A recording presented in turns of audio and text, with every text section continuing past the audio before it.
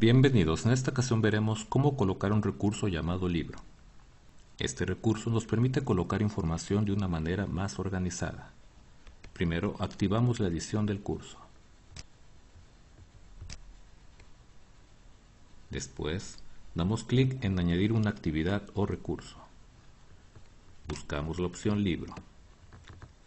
La seleccionamos y damos clic en agregar. Vamos a colocar un nombre para este nuevo libro. En este ejemplo pondremos encuadre de la materia. La descripción es opcional. Damos clic a guardar cambios y mostrar para continuar con el libro. Nos pide primero el título del capítulo. En este caso vamos a capturar objetivos. En contenido colocaríamos los objetivos de la materia en este ejemplo.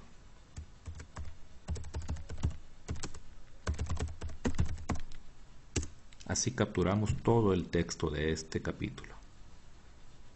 Al terminar damos clic en guardar cambios. Si queremos seguir agregando más capítulos en este libro, damos clic en el signo de más que se encuentra en la tabla de contenidos. Ahora capturamos el nombre del siguiente capítulo. Para este ejemplo será el temario.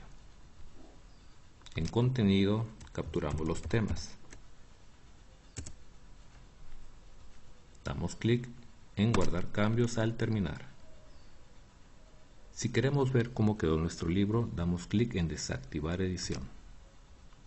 Aquí está nuestro libro. En la tabla de contenido podemos dar clic a cada capítulo o a las flechas para ir avanzando. Si queremos modificar alguno de los capítulos, primero necesitamos activar la edición.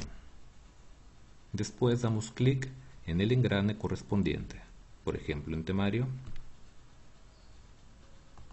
y podemos ir capturando o modificando el texto que necesitemos. Por ejemplo, tema 1. Cuando termine doy clic en guardar cambios. Y listo. Esto es todo el procedimiento para ir construyendo un libro dentro de mi plataforma. Les agradezco su atención. Hasta luego.